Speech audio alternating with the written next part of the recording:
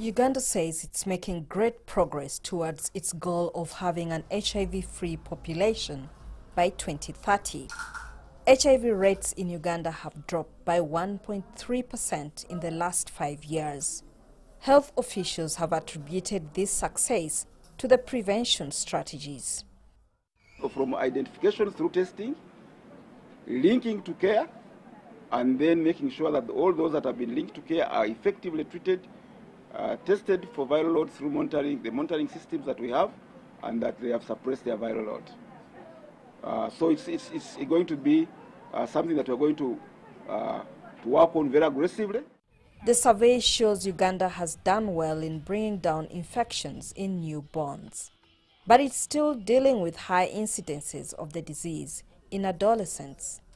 HIV campaigners are excited about the encouraging news, but say more needs to be done. We're glad to see that the prevalence of HIV is now 6% in adults, uh, suggesting declines from previous studies.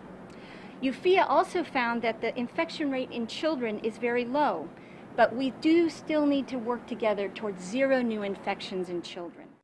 The results from the study also show that almost 60% of infected adults have minimal levels of the HIV virus in their bodies. This means they will live longer without complications from HIV. Previously, there were worries that the country was sleeping on the fight against HIV but there is renewed hope now. The Minister of Health says it's working on more awareness campaigns on the dangers of the HIV virus and with more commitment from the U.S. to continue funding HIV programs, there is hope that the HIV infection rates will even go lower.